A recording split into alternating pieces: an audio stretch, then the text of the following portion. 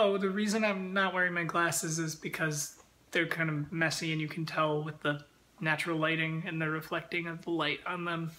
So here's my face. Hi, welcome to another episode of my Camp NaNoWriMo series. Alice Goes to Camp, I guess is what I'm calling it. Today I'm in a new apartment that I just moved into. I'm only to be here for a few weeks before I head back home for the summer, but I'll be living in this apartment all of the school year. But enough about me.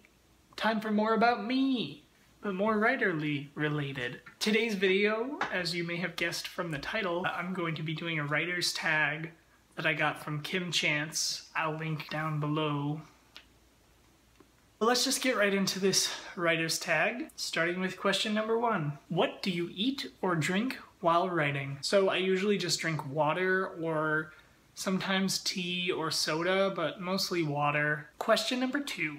What do you listen to while writing? So I actually a lot of times will make playlists just for whatever I'm writing. Like when I'm working on a story, I'll put together a playlist of songs based on the characters and sort of the themes that I'm dealing with. And also sometimes I'll just throw in some songs that I like that I don't really know exactly why they apply, but I like them. Question number three, what is your biggest distraction while writing? ADHD. Question number four, what's the worst thing that's ever happened to you while writing? That feeling in the pit of your stomach when you're like, I don't know what to write, and so I feel like this is the end and I'm never going to write anything good ever again. And then I'm going to be washed up and I'm going to have to get a real job. Question number five. What's the best thing that ever happened to you while writing? Probably just like writing with friends, I guess. Writing on my own is fine enough and maybe I don't always get distracted as much, but writing with friends is just like my favorite thing in the world. Question number six. Who do you communicate or not communicate with while writing? Like I said before, I like writing with friends. So if I'm with friends, I'll talk about what I'm writing with them um, but sometimes I do get sort of like hyper focused so I don't talk to anybody, but that's few and far between. Otherwise, while I'm sort of in between writing, I definitely will talk about my story to anybody who will listen. I've gotten a little better about not giving all the details, so I'm still really excited about writing it, but still enough that I can sort of work through you know, what I'm writing. Sometimes I will talk to Callie Noel and I'll just sort of go through everything out loud and it helps me sort of organize whatever I'm working on in my head and if there's anything that I'm not really sure what to do about, any plot holes, I can sort of work them out out loud. That really helps me. Question number seven. What is your secret to success and your greatest writing flaw. My secret to success is outlines. I didn't used to outline. My stories were sort of all over the place and I didn't really know what I was doing. I would sort of like make notes here and there, but now I just have a big outline especially for my longer stuff. For this story that I'm working on in July, I've already got like a two and a half page outline and my goal is to make it longer because I want to have all of the major plot holes worked out before I even run into them because otherwise that's a lot more to edit and it can be a little intimidating, which brings me to my biggest flaw, which is that I can be sort of lazy about editing, but I don't know if I'm alone in that. I think that's pretty common. I sort of finish it and I'm like, what? It's perfect. Even though I know it's not. Question number eight.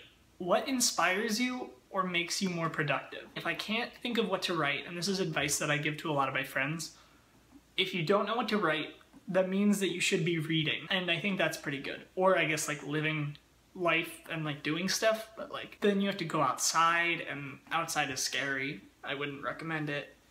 There's a sun out there. But I like to make sure that I'm taking in literature or even TV shows or movies, like just any sort of media, a new album, you know, anything I can find and just sort of like think about. Question number nine, what is one thing that you do or that other writers do that annoys you? I don't know about myself because I'm perfect, but actually probably a lot of things. I think it's really easy to look at your own writing and just be annoyed by all of it. The thing I don't like that other writers do is probably like bad romance Sorry, Lady Gaga, I don't want it.